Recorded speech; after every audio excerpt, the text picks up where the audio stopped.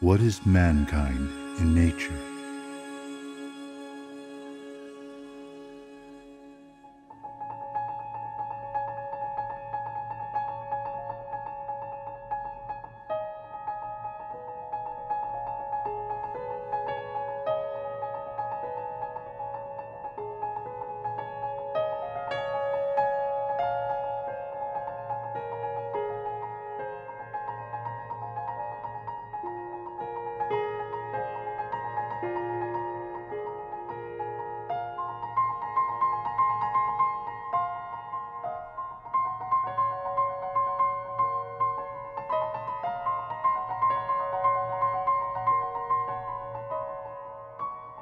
Mankind has gone out to explore other worlds and other civilizations without having explored its own labyrinth of dark passages and secret chambers, and without finding what lies beyond doorways that it itself has sealed.